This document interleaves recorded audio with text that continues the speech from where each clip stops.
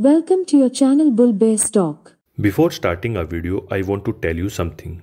Always trust yourself and keep investing. Now we proceed to Puja Entertainment and Films Limited share. But if you are new on channel, then please subscribe the channel. जैसा आपको पता ही है इस share को हम 38 से cover करते आ रहे हैं और सिर्फ़ दो महीने के अंदर ये शेयर 73.50 तक पहुँच गया लेकिन इस शेयर में अब हमें काफ़ी सावधानी बरतने की ज़रूरत है as you know Pooja entertainment and film limited engage in the business of film production if we talk about quarter three result you can see sales is twelve lakhs no other income company generate in this quarter and the profit is BEP mean break even point we can say no profit no loss share holding pattern की बात करें तो promoters की holding sixty eight point six nine percent है जो educate है और एक भी शेयर गिरवी नहीं है. I am repeating again now we have to very careful about this share investment in 52 week range. Share low 14.30 and high 76.40 book value is 70.4 and stock last closes at 67.90 hence stock is trading 0.97 times of its book value. Market cap is